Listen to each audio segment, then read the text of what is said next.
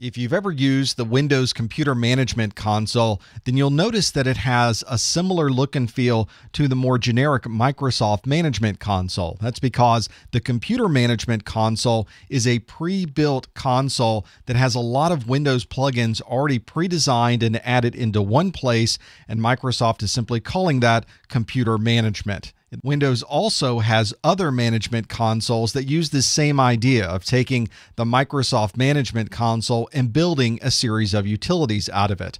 Although you can't modify what's in the Computer Management Console, you could easily load mmc.exe, that's the Microsoft Management Console, and build your own console yourself to emulate some of the things that is done inside of computer management. If you look a little deeper, you'll notice that computer management has a lot of other utilities that are embedded within it. So you can go to the computer management console and look at all of your Windows events. You can look at user account information. You can pull up service information where you can start and stop services. There's a lot of other features inside of computer management. Let's have a look at it.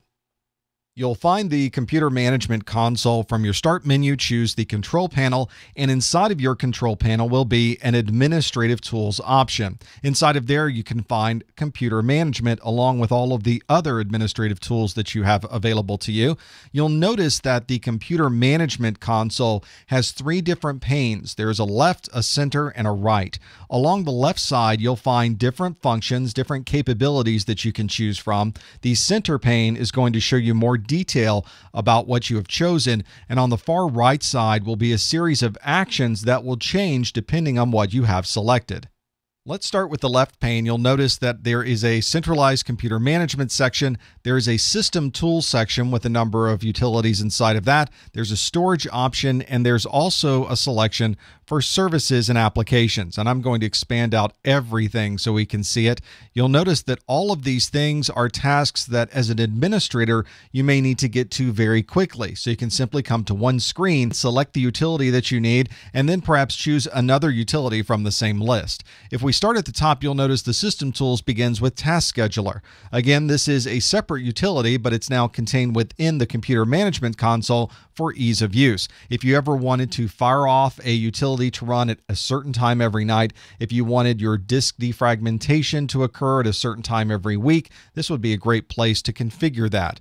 The Windows Event Viewer can also be launched from within Computer Management. You can see all of the information in the center pane and all of your actions along the right side. You also have the ability to look at what folders are shared on this particular computer. If you're trying to determine if a particular area of your hard drive has been made available to others, this would be the section that you would go to so you can see all of the shares. The list is here. That's the default list. You can see if anyone is actually connecting to those shares and has a session open at this time. And you can see what files are currently open by people who may be connecting into those shares. That way, if you were trying to determine if you should reboot your system or apply certain patches, you can look to see if you might be interrupting somebody who's actually doing work to data in those particular shared folders.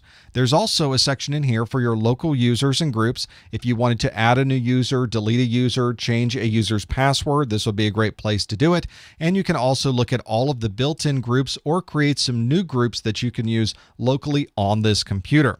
The performance section gives you the ability to look at how your computer is performing and look at it over a very long period of time. We'll have a completely separate video on this because you can really go into detail detail about how your computer is performing and perhaps find ways to make it work a little more efficiently. Your device manager is in here as well. This is a great place to go to see how your hardware that's connecting to your computer may be performing. Is it working properly? Is it not? Do I need to install a new driver? This would be the place to go. Those are all of the system tools. Let's look at storage. And storage has one central place to go. That is the disk management screen. So you can see all of the disks that may be connected to this this computer, you can make modifications, you can format partitions, you can add and remove partitions.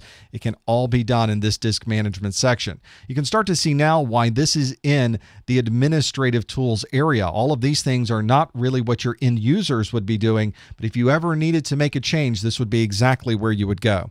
The last section is the services and application section. And of course, from here, you can modify any services that may be running in the background, restart them, stop them, everything that you need to control services is right here in this menu. And you also have WMI control. If you're running Windows 7, the Windows Management Instrumentation Service provides third parties with a way to access your computer and gather more information about how this device is running. If you're performing day to day administration on your computer, you can see the computer management utility inside of your administrative tools may be a great place to go for a one stop shop for all of these different functions.